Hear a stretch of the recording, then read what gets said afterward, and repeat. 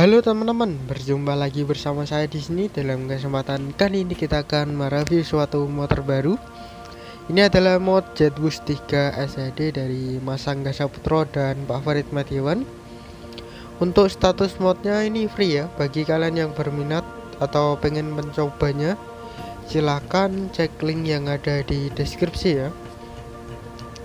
Dan untuk liverinya ini dari channel YouTube-nya Grong untuk liverinya ini adalah livery Jaya. Di sana ada beberapa livery uh, yang berwarna-warni ya dengan ciri khas bus Super Jaya. Dan sebelum melanjutkan videonya jangan lupa untuk like, comment, share, and subscribe dan nyalakan lonceng notifikasinya agar tidak ketinggalan video terbaru dari saya. Oke langsung saja kita akan review untuk busnya ini ya ini sebenarnya busnya sudah lama ya tetapi uh, tidak apa-apa kita akan review uh, lagi ya dalam kesempatan kali ini. Dan terlihat untuk busnya ini varian Alcoa yang standar ya. Terlihat belum adanya winglet sama strobo. Dan untuk strobo belakangnya ini sudah ada ya tetapi untuk yang depan ini belum ada dan langsung aja kita akan review untuk fitur-fiturnya dulu. Di sini untuk lampu hazard depan dan belakang tadi sudah menyala ya. Lalu sen kanan dan sen kiri juga sudah menyala. Lampu dekat lalu lampu jauhnya juga sudah menyala ya tidak ada masalah. Lalu setelah itu kita akan mengecek untuk wiper untuk wipernya di sini sudah menyala dengan normal ya di sini. Tapi uh, untuk wiper di bagian atas ini hanya terdapat satu wiper ya. Dan untuk pergerakannya ini juga normal sekali. Lalu setelah itu kita akan buka untuk pintunya. Untuk pintunya ini spek pariwisata ya ini. Karena untuk uh, apa itu bagian depan ini slide dan belakang itu swing. Dan ada semacam animasi kursi lipat ya. Tapi kalau spek pariwisata itu kursinya ini uh, ada ya yang bagian tengah. Ini kan di pinggir semua ya. Ini kalau spek pariwisata itu ada yang di bagian tengah untuk TL lalu kita akan mengecek untuk bagian buritan atau belakang. Untuk bagian belakang di sini untuk lampu rem sudah menyala ya dengan menyatu strobo.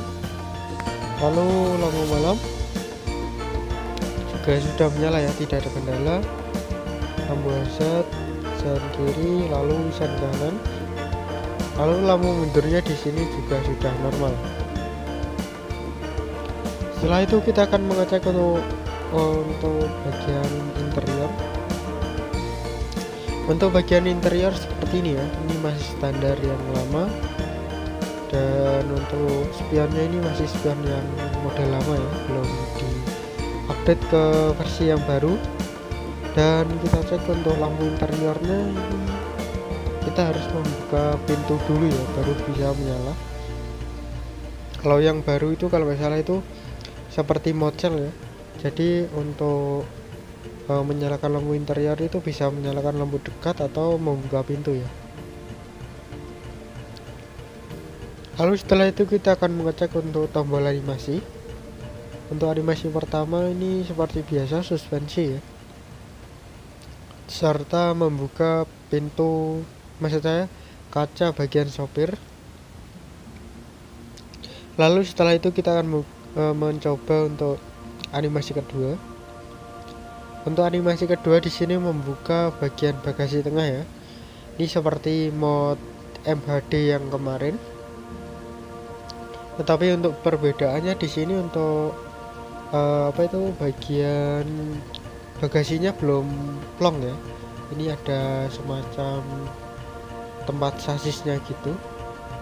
Lalu untuk animasi ketiga ini membuka pin bagasi ya. Maksud saya membuka uh, apa itu? Kap mesin. Oke di sini untuk kap mesinnya belum tiga dimensi masih dua dimensi ya dan juga belum bisa bergerak. Dan uh, untuk mod ini apakah worth it? Uh, digunakan untuk busit versi sekarang? Ya jawabannya worth it ya karena ini versinya yang uh, standar ya belum ada semacam aksesoris yang bisa bergerak. Biasanya kan ada semacam uh, gandungan busway atau kepet ya. Itu kan bisa bergerak. Nah sementara di mod ini ini uh, belum bisa bergerak ya untuk kepet serta apa itu kepet yang bagian belakang ini. Ini kan terlihat belum bisa bergerak ya jadi untuk mod ini tuh sangat worth it sekali. Apalagi sudah adanya driver ya.